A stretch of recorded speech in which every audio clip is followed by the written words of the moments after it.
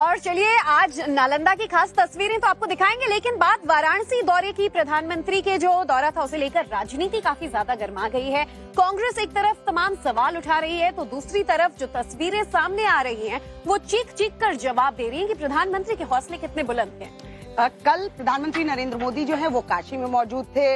वहाँ उन्होंने क्या कुछ किया और विकास कार्यों का कैसे जायजा लिया? क्यों कांग्रेस जो है वो बौखलाई हुई है? सब कुछ आपको दिखाते हैं इस रिपोर्ट में।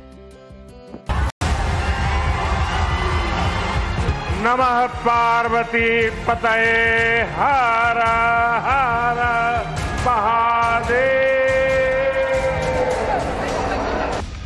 विपक्ष डरा देखना चाहता था। विपक्ष झुका देखना चाहता था। विपक्ष रुका देखना चाहता था। लेकिन हुआ उल्टा। ये तस्वीरें काशी की हैं, जहाँ पीएम का और पीएम समर्थकों का, यानी दोनों का जोश हाई नज़र आया। देखिए इन तस्वीरों को, जो एक झलक में साफ़ कर रही हैं कि इरादा जनता के अरमानों के साथ उड़ने का था। उड़ने का है और आगे भी कायम रहेगा। तीसरी बार प्रधानमंत्री बनने के बाद काशी में मोदी का ये पहला दौरा है, जहाँ उन्होंने अपनी जीत को लेकर सुनिए क्या कहा। तो ये बहुत बड़ी बहुत बड़ी विक्टरी है, बहुत बड़ा विजय है, और बहुत बड़ा विश्वास है। आपका ये विश्वास मेरी बहुत बड़ी पूंजी है। दशाश्वमेध घाट पर पीएम ने गंगा आरती की। पीएम रहते पांचवी बार गंगा आरती में शिरकत की। बाबा विश्वनाथ धाम में पीएम ने विधिवत पूजा की।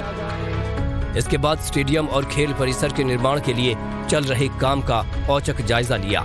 इतना ही नहीं किसान सम्मान निधि की सत्रहवीं किश्त जारी की।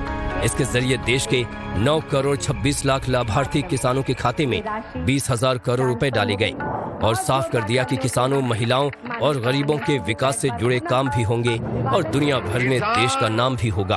पूरी तरह से सशक्त और सक्षम बने और मेरा तो सपना है कि दुनिया की हर डाइनिंग टेबल पर भारत का कोई न कोई खाद्यान्न या फ़ूड प्रोडक्ट होना ही चाहिए। बता दें कि प्रधानमंत्री मोदी के इस दौरे में यूपी की राज्यपाल आनंदीबेन पटेल और मुख्यमंत्री योगी आदित्यनाथ भी मौजूद रहे, जो बताने के लिए काफ़ी है कि यूपी में डबल इंजन की सरकार और तेज़ी से काम करेगी और आगे बढ़ेगी।